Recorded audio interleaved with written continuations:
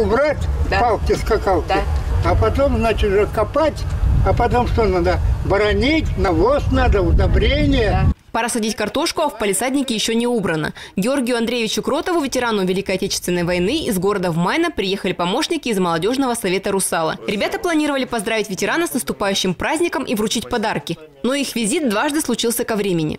Палисадник для Георгия Андреевича – огород и смысл жизни. В нем он проводит весь теплый сезон. Гостей и помощников ветеран встречает весело. Поцелую за досрочный мой наказ и готовы расписаться и пойти с насущ- с насущий в ЗАГС. Они до сих пор рассказывают все свои истории, поют песни, у них прекрасная память, но в силу своего здоровья у них не получается сделать все, что они хотят.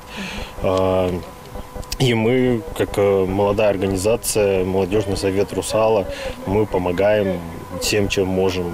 Руководство и сотрудники компании «Русал» стараются сохранять наследие предыдущих поколений. Жизни и здоровье положивших за мирное небо у нас над головами. Именно поэтому поддержка ветеранов Великой Отечественной войны, локальных войн, заслуженных тружеников тыла является для «Русала» традиционной. В преддверии 9 мая заводчане участвуют в традиционной акции «Подарок ветерану». Дарят продуктовые наборы, цветы и поздравительные открытки от управляющего директора САЗа. Многие кланяются авантюрам этим.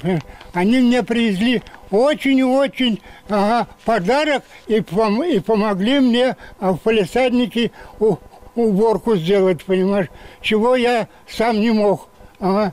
Я, значит, у меня много заболеваний, Георгию Андреевичу 92 года. И хотя он неправильно произносит новое слово «волонтеры», но понимает, что волонтеры «Русала» – это как тимуровцы. Говорит, в этом году особо порадовали поздравлением с Днем Победы. Аккуратнее! Анастасия Тарбаева, Виталий Ломаковский, Нота Бене.